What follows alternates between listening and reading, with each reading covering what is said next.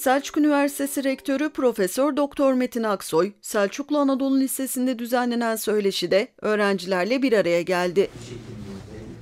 Üniversiteye bir adım kalan mesleğini uzmanından dinle adlı söyleşiye rektör yardımcıları Profesör Doktor Emrullah Eken ve Profesör Doktor Ahmet Tuğrul Polat, Genel Sekreter Profesör Doktor Kamil Beşoluk'la Selçuklu Anadolu Lisesi Müdürü Zafer Sonal, öğretmenler ve öğrenciler de katıldı. Rektör Aksoy, gençleri Türkiye'nin ihtiyaç duyduğu alanlara yönlendirdiklerini söyledi.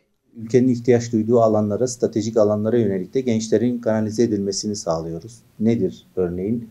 E, Savunma sanayinden tutun tıp fakültesindeki ilaç sanayisine kadar ve yerli milli aşıların çalışmasından teknolojideki çeşitli alanlara, edebiyattaki kendi e, değerlerimizi yetiştirmeye kadar bütün modern eğitim sistemleriyle birlikte ülkenin ihtiyaç duyduğu alanlarda gençleri yönetmeye ve yönlendirmeye çalışıyoruz.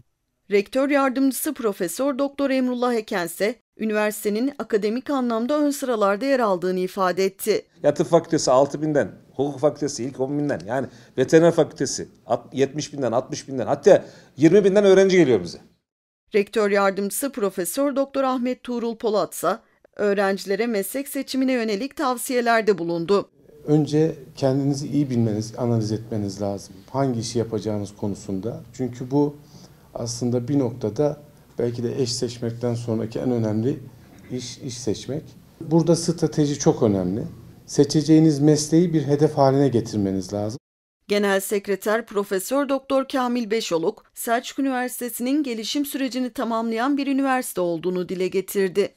özellikle tercih etmek istiyorsanız bir kampüs üniversitesinin e, olgunlaşması ve sizlere tam anlamıyla e, eğitimin yanında sosyal e, ve kültürel faaliyetleri de verebilmesi için minimum bir 20 yılın geçmesi gerekiyor.